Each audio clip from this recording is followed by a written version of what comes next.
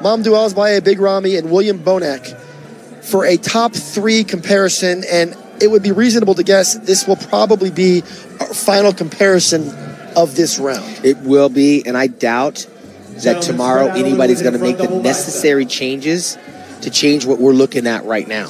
Well, what we're looking at is two bodybuilders who have moved up.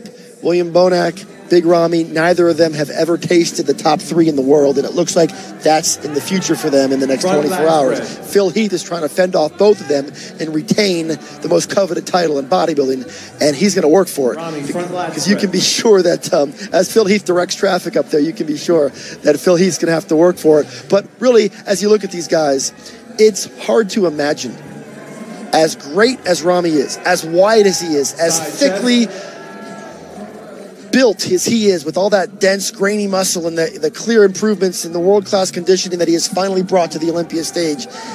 People always used to say, if Ramy gets it together and comes in in shape, is it going to be good enough to knock off Phil Heath? So I think that question, I'll pose it to you. Is it good enough to take out Phil? I think it's damn close. I would not be surprised, Dan, if we don't see exactly what you're talking about. It's very possible. I'm not going to say probable, but it's very possible. Steve Weinberger is a very fair head judge, and I saw Muhammad uh, Ramy over in Kuwait beat Dexter and Shawn Rhoden. And I'll tell you what, Phil Heath might be laughing right now. It's, But Steve Weinberger just put the defending champion on the outside and moved Big Ramy into the center spot. You can read into that. We don't want to overstate it. But at the end of the day, right now, Big Ramy is getting his chance to stand in the center of what appears to be the final call out of the day. At the very least, we have some intrigue. well, I'm I'm I'm not going to end it there. William Bonac might wind up in the middle too and give them all a fair shot. But Big Ramy, he's serving notice, man, and uh, I'm not going to say that it's impossible. Phil's genetics are far more superior than Ramy's, but there's individual poses where Ramy is undeniably all up in his grill, and we cannot discount what little uh, William Bonac is bringing because William is as complete as they come. He's just smaller. I faced the same situation. Labrada, same situation. Mohamed Makkawy. Sometimes when you're small, you're the odd man out. And right now, these two big men in, in uh, Phil Heath and Big Ramy, this is a this is a contest that's up for grabs as of tonight. And it's a bit of an apples and oranges situation, and we're kind of back to that. We had kind of moved away from the apples oranges debate when Ronnie's reign ended, when Jay's reign ended, but we're kind of back there now.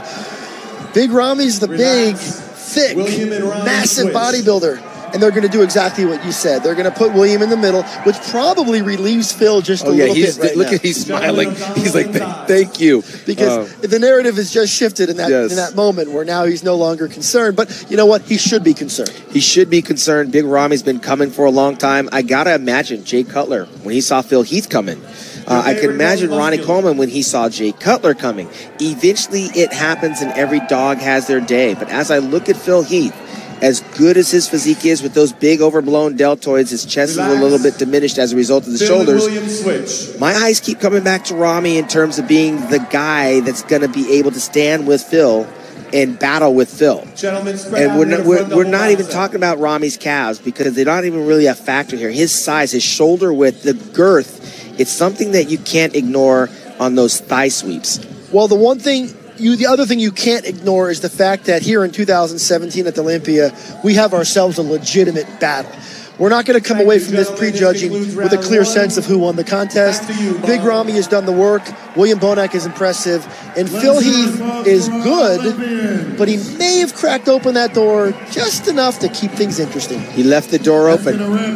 Tomorrow we're going to find out. Uh, we're going to find out, but first, we're going to go ahead and take a quick break here as our coverage from Las Vegas continues here at Joe Weider's 2017 Olympia Weekend. our defending champ. We'll see if Flex can make it six.